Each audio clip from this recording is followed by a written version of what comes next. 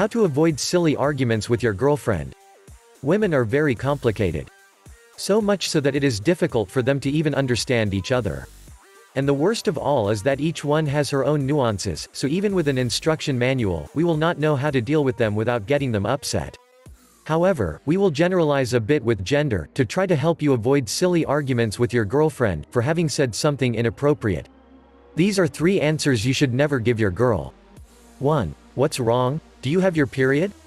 Hey, buddy, if you do not want that woman to lose her temper, better delete this question from your hard drive.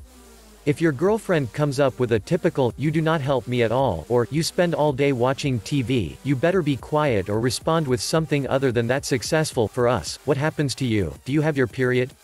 Almost scientifically it is proven that this would mean for her to be very impatient and deranged, speak or act outside of reason. 2. She's pretty, referring to a friend of hers. Questions like, what do you think of my friend, could be a mango shell for those women who are waiting for your first fall to unleash their true selves. Consequently, that is pretty, whether hesitant or compromising, can unleash fury on your girlfriend, who will respond immediately, you mean, she seems more beautiful than me. And if you try to retract affirming the opposite, like, no, I never said that, she's ugly.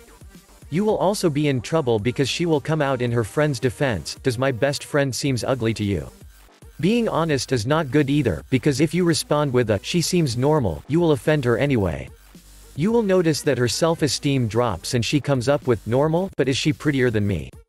And if before this, wanting to look good, you reconfirm what she said, she comes back with the initial fight. Ah, does she seem prettier than me? And the same vicious circle is repeated. The truth is that in this type of situation you will lose, whatever you say. Pretend to be the crazy one to see how it goes. 3. When she asks you if you think she's fatter. The fatness, although it is obvious, is an Achilles heel for almost 100% of women. Even though she looks and feels fatter, she will always need to ask you. Honey, do I seem fatter to you? But beware, she will never want you to reconfirm her with your sincere, yes. In this case, the best answer will be to deny it.